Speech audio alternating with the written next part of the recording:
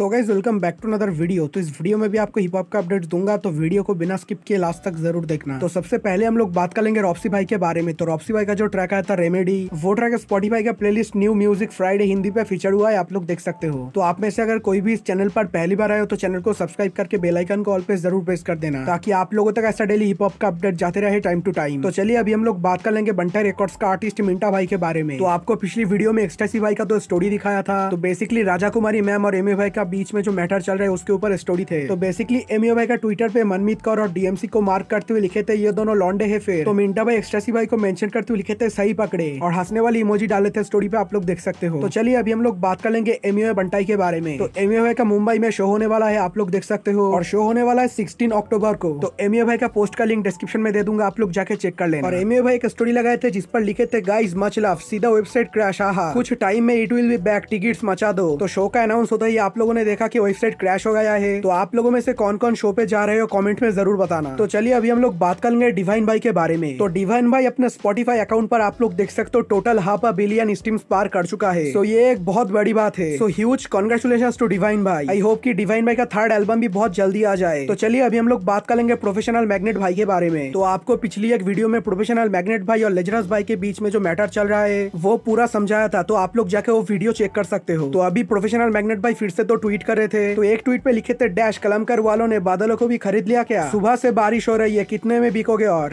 Hashtag boycott Badal hashtag dash rain hashtag सब कलमकर वाले करवा रहा है। और जिसके बाद हुड वाली बातचीत भाई ट्वीट करते हुए लिखे थे, सब कनाडा क्यों जा रहा है? तो प्रोफेशनल मैग्नेट भाई लिखे थे, क्योंकि एमिनम के पास रहता है, गाने वगैरह भेजने में इजी हो जाता है। तो आप लोगों ने देखा, ये जो तो ट्वीट है ट्वीट से फिर से लेजरस भाई को पोक किया गया है काइंड ऑफ़ सो इस वीडियो अगर अच्छा लगा तो वीडियो पे एक लाइक कर देना और एक कमेंट भी कर देना। तो इस वीडियो में तो इतने ही, मिलते हैं और एक नई वीडियो में। तब तक के लिए tata bye bye and take care.